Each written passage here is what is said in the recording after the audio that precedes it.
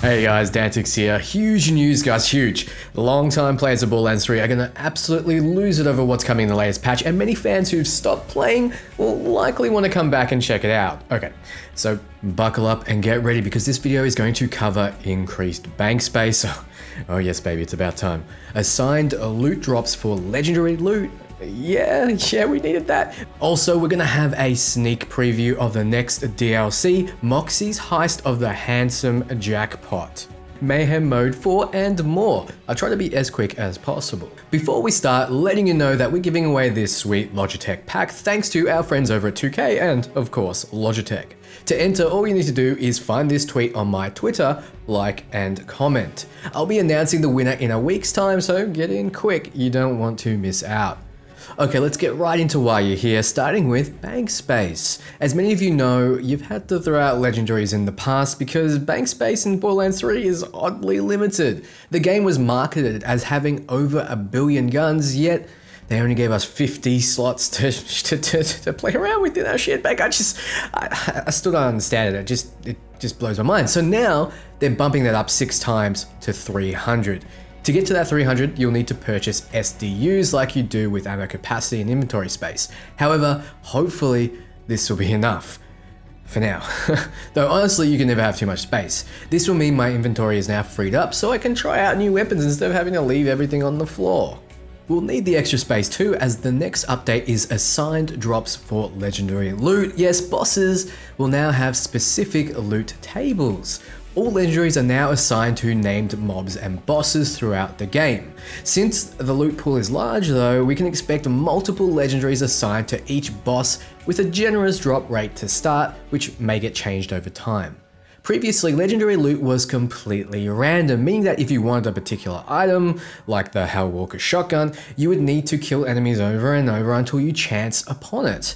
Now, you can find the enemy that contains the gun within them, smash it open like a pinata until it pops out. Makes building your character a lot less tedious and a lot quicker. This will apply to the base game, Proving Grounds, seasonal content like Bloody Harvest, and the new takedowns that are on their way.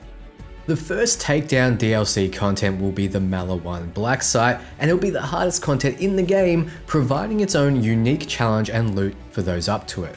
With Mayhem 4 coming, more on that soon, the combination of the two will be the hardest possible content in the game with the best drops. So are you tired of Mayhem 3? Do you, do you need more of a challenge? Well, Mayhem 4 is on its way and it will provide the highest challenge for the most coordinated of groups.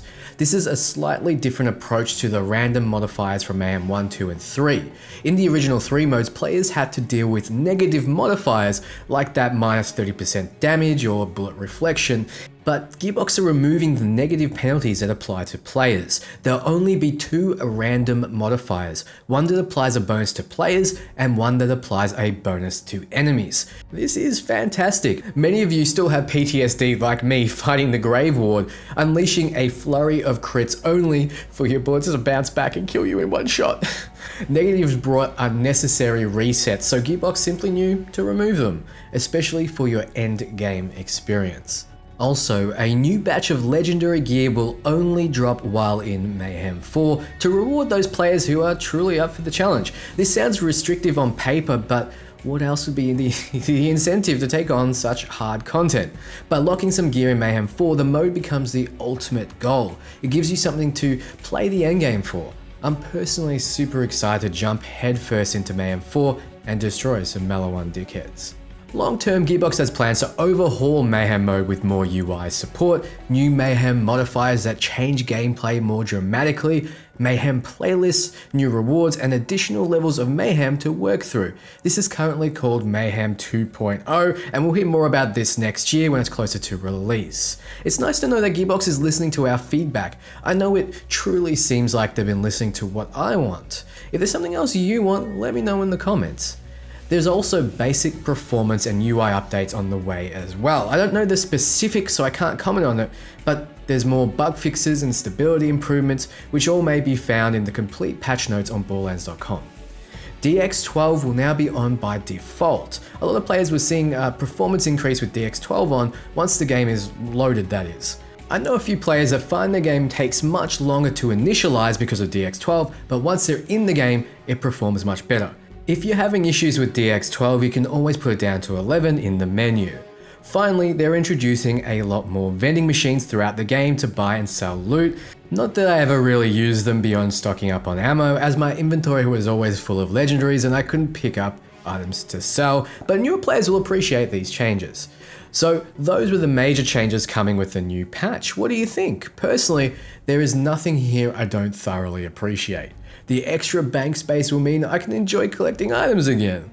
The loot tables will mean that if I have an itch for some particular item, I can scratch it more easily. With Mayhem 4, I have extra content to shoot for. With takedowns almost here, I have even more to bring me back into the game. So that was all the Day 60 patch has to offer. Now, let's take a look at the new DLC on its way. Hey, Sugar, I've got a little proposition for you, if you're feeling lucky. I'm talking loot, but not just any loot. Handsome Jack's Casino. This heist, it's personal. He stole my designs to build this place. Taking it back is scratching him out of my books forever. Stay sharp, sugar.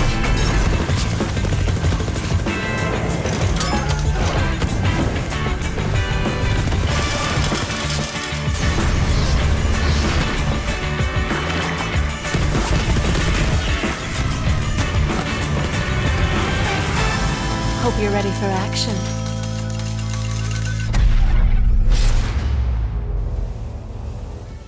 So there was a lot to dissect here. New enemies, new potential loot, and a Moxxi focus, but I'll leave that up to you in another video. So thanks for watching guys, don't forget to check out my Twitter, link below to enter the Logitech competition. I also have a comp to win a Switch if you're interested. I'm Dantics and I cover all things RPG. I'll be back very soon with more.